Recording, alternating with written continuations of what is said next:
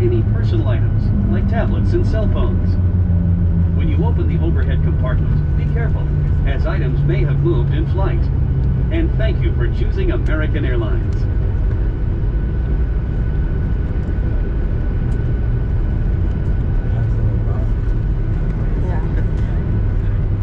This poor plane. Welcome to Dallas, Fort landings have Worth. been rough. So the time 703. I know. Looks like we are coming into gate C7. And baggage claim is C4. This poor plane, We thank you again for flying I with us know. today. The last two We hope to see you again on a future flight. Once again, just remain seated until that seatbelt sign is off. Thank you.